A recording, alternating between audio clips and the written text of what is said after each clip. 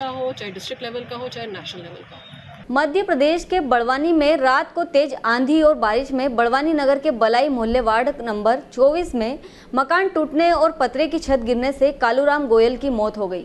कालू राम देर रात को घर पे आया था। इसी कारण उसके बच्चे नानी के यहाँ चले गए थे, जिसके कारण हादसे का शिकार होने से बच गए।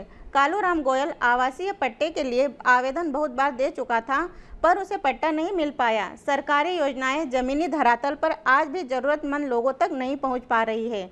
इसी का उदाहरण है यह मौत। आज कच्चा मकान होने के कारण जान गंवाना पड़ी। वहीं शहर में कई जर्जर मकान हैं। अगर अगर नगर पालिका शहर के जर्जर मकानों को नहीं तोड़ेगी तो और भी बड़े हादसे शहर में हो सकते हैं। बड़वानी से अतुल कुमावत की रिपोर्ट। क्या हादसा हो गया ये?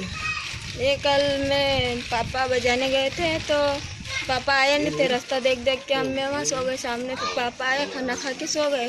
फिर एकदम से बारिश आई तो पापा के ऊपर सब गिर गए थे उनकी डेथ हो गई इसके पहले आवेदन दिए आवास योजना के लिए हाँ दिए थे बहुत बार पर कहीं नहीं हुआ। हाँ, आपका? राकेश मकवाने वार्ड चौबीस पार्षद।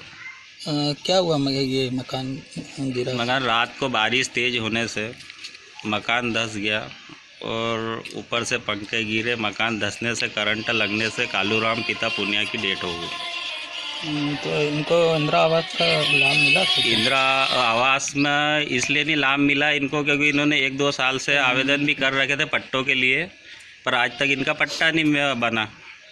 और इसी कारण से इनको आवास योजना का लाभ नहीं मिल पाया। और पट्टा नहीं बनने की वजह यह हादसा हो गया। अगर बन जाता तो इनको आवास योजना का लाभ मिल जाता। और कई ऐसे और लोग हैं मेरे वार्ड में, जिनके कच्चे मकान हैं, आज तक तो उनके पट्टे ही नहीं बने।